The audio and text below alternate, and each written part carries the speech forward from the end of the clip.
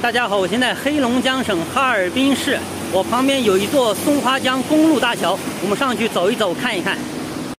看一下这个古建筑还是非常好看的，在哈尔滨像这样的漂亮建筑特别的多啊。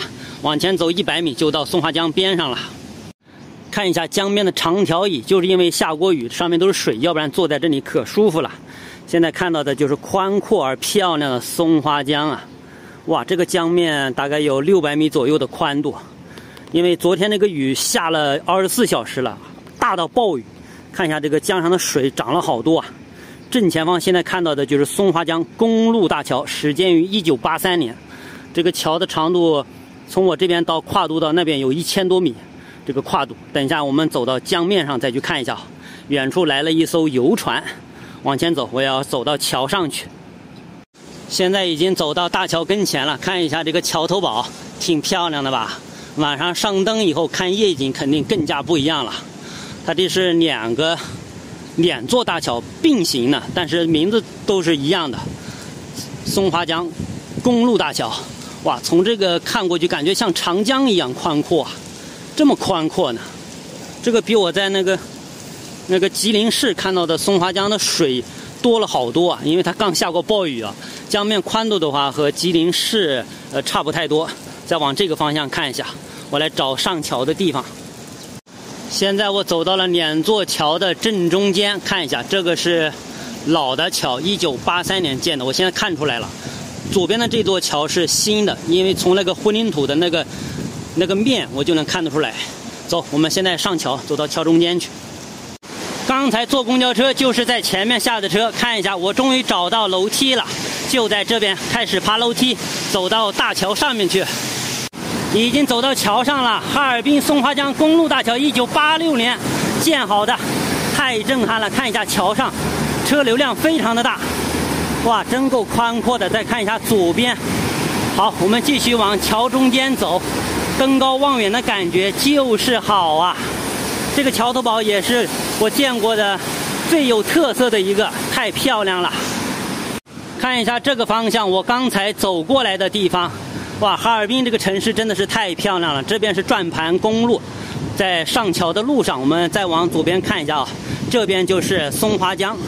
我们再往这边走一点，走到这个侧面来欣赏一下这个松花江公路大桥，这个感觉像看长江大桥一样啊，真的是震撼的不得了。再看一下对面。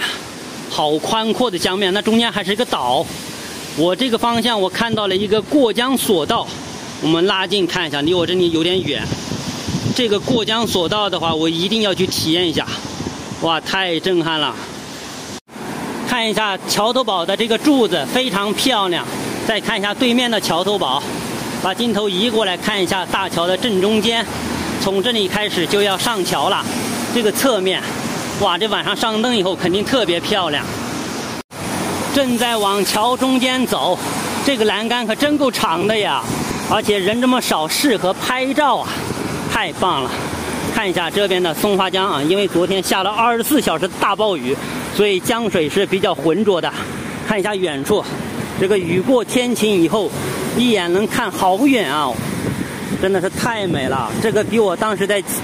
吉林市看到的那个松花江，给人的感觉还要更加的宽阔美，因为这个视野比较的大，一眼能够看到二十公里以外，没有任何遮挡。